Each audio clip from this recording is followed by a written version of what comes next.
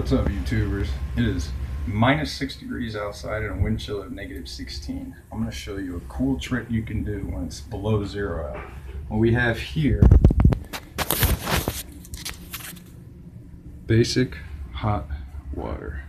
Okay, now watch. I'm going a little trick.